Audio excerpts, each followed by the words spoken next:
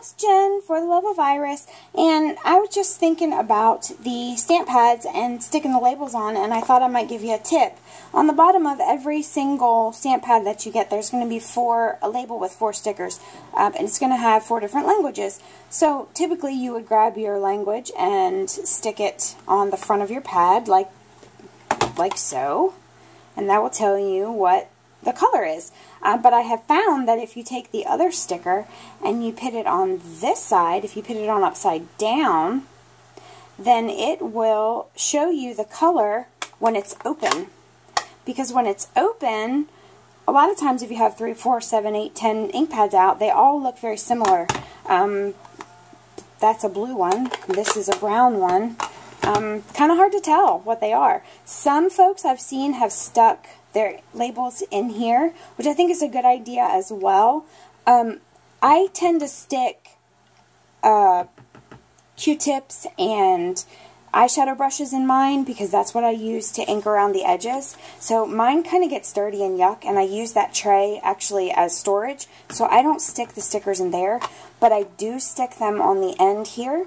So um, I thought I would just go through that really quickly with you. If you just take your English language or whichever language it is that you use the most, and then whichever language you think is closest to the one that you'll be able to read because you really just are concerned about the color. Um, and I'm going to just choose one. It doesn't really matter because they, they're all illegible to me.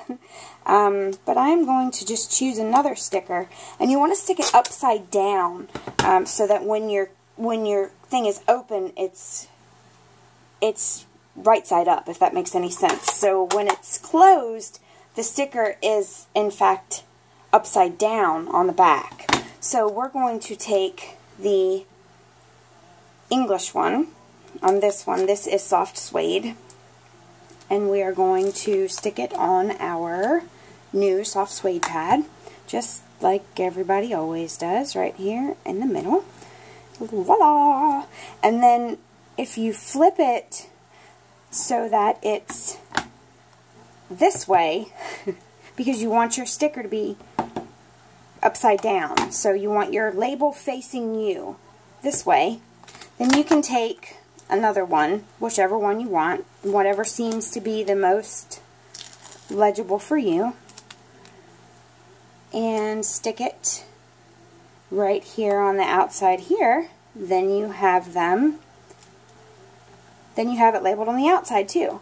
Some folks, like I said, if you want to, you can take the tray, and some folks take, To take my snips here, and cut right here on the outside of the word, and right here on the outside of the word.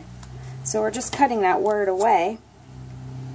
And for the sake of this video, I will go ahead and stick the sticker in here. Um, and you're going to take just the color again, and stick it down in this little tray here so that, ooh, hello. I can't do things very straight today, can I? That's alright. Just don't tell anyone. And stick one down on that side, and then the other one is going to go down on the other side. And then you have a good reference from the top as well that you can tell that this is soft suede. Oh, look at me, I've got stuff everywhere. That's usually how I craft anyway. Cattywampus and stuff everywhere. Look at that. Cricket again. I have ink everywhere. I don't know who does this, but when they do, they must be really talented.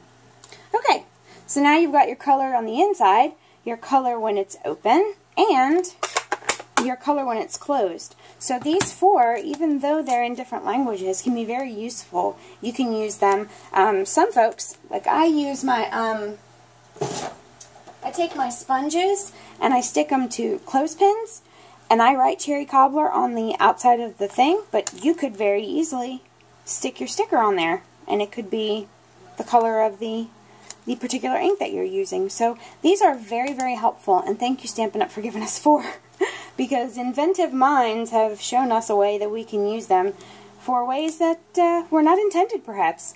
So I hope this is a good tip for you, and have a fabulous day. Bye!